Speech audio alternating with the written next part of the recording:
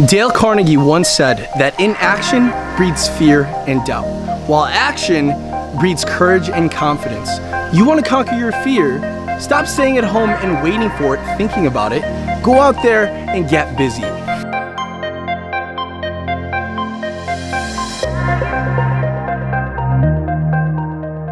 Hmm. I think it's time that we have a talk. We should have a talk. Let's see.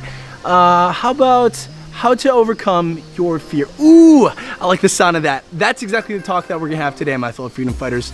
How to overcome your fear. Intro!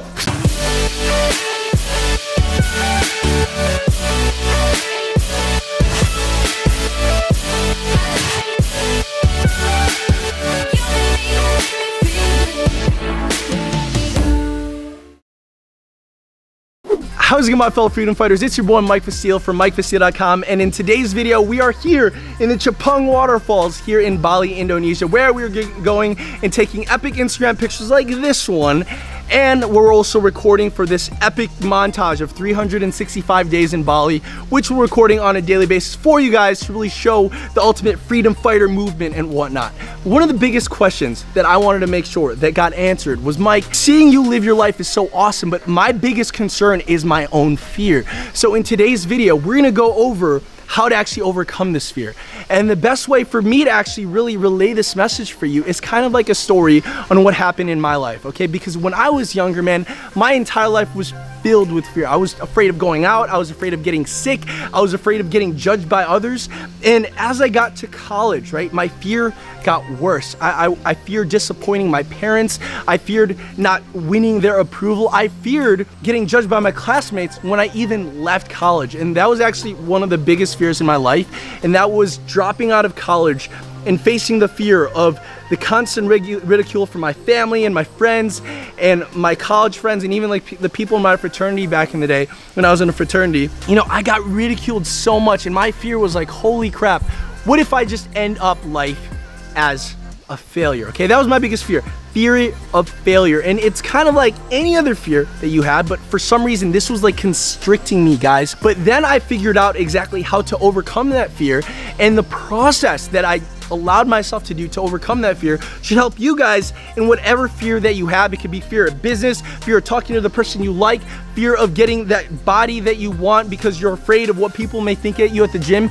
Applying these three questions into your life will literally change your life. So guys, whatever fear that you have, the first thing that you want to do is first define the fear.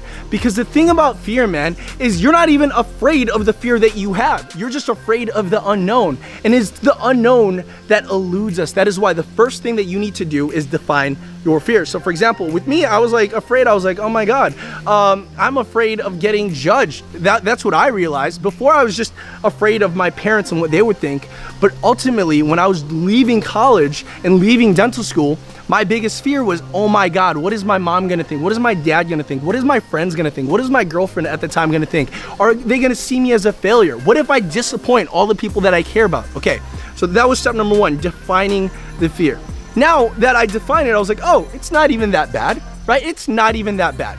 So the second thing that I did was, okay, I'm gonna play out the worst case possible scenario in my brain. And I know you're probably thinking, you're like, Mike, what the hell? What, what happened to optimism? What happened to positive thinking? And if you know, if you think you can, you think you can. Guys, like I said, remember the biggest problem with fear is that it is unknown. And for example, the reason why you're not going out there and taking those risks that aren't even risks in health, wealth, love, or happiness, right?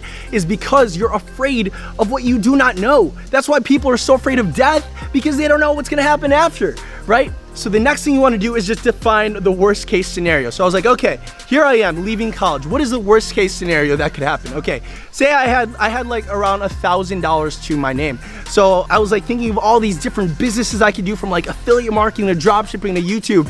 I was like, okay, I'm gonna have like one thousand dollars to try and make my dreams into reality, to try build this like online business so that I could actually have freedom for myself. And in the time, actually like saving up for that $1,000, dude, I was doing like side hustles, like working for a dental office. I was a summer camp counselor. I even tried my act as a model and tried doing some modeling gigs for the people that have maybe seen me on some advertisements.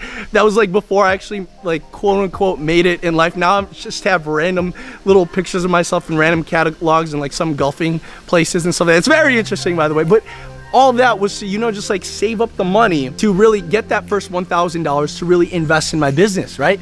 So the worst case scenario that I played out for myself was what would happen if I had this $1,000, the only $1,000 to my name. The worst case scenario is what if I lost it, right? What if I ended up losing it all in business or in whatever and I just had to go back to square one. So I played it out. I was like, okay, worst case scenario, I had a thousand bucks. If this business doesn't work, then what would happen? Oh, well, yeah, my mom will probably think I'm a failure. Yeah, my dad will probably think I'm a failure. Yeah, all my friends back in college would be like, I told you so, Mike, you should have stuck in college. And then when I realized that that was like the worst case scenario, I was like, okay, that's not even that bad. I mean, that's kind of like what I was experiencing at that moment. So I was like, okay, this is kind of like the worst it could get. So it could only go up. So the moment I defined the worst case scenario, the third thing that I want you guys to do after you define your first worst case scenario. Okay, number one, remember, you first define what it is you're afraid of. Number two, define the worst case scenario. The third thing that you should do is define an action plan for that worst case scenario. Because odds are the worst case scenario is not gonna happen. But if you actually have an action plan to implement when you are facing the worst of the worst, then you're gonna have this confidence to you because you were ready and you were prepared and now you have this certainty to your approach. And that's like the biggest thing, man. So that's what I did. I defined what it was that I was afraid of. I said the worst case scenario. And the third thing was that my action plan, okay, I was like, worst case scenario, I lose a thousand dollars and a lot of my family and my friends think I'm an idiot for the time being. So what am I gonna do? oh, well, I don't know, I could still probably live at home with mom and dad, you know, eat that amazing Filipino cuisine, live off of that so the food would be free, the lodging would be free. Oh, I could probably get another job, do a couple more gigs, save up another $500 to $1,000, and then guess what? I could try my luck in another business. And it kind of goes back to the quote that Mark Cuban says, you do not have to be right 1,000 times to become successful. You only need to be right once. And that's what happened when I realized that the worst case scenario wasn't even that bad. My fear was gone, guys. And I know right now, it doesn't matter what is going on. Like I said, in your life, you might be afraid for getting, you know, being judged at the gym. You might be afraid of failing in business. You might be afraid of what your parents might think or your family might think or your friends might think on whatever venture that you are currently doing right now. But that should be none of your fear. None of your fear because you will be ready with these three questions. And now people ask me, they're like, Mike, now you're living a life of freedom and abundance and you're doing cool things like taking cool Instagram pictures with girls and waterfalls and whatnot and traveling and like even though you wear the same same but different t-shirt Thailand inside joke for those that have been in Thailand by the way let me know. What are you now afraid of? And you know when I first got asked this question my biggest fear at the end of the day was death.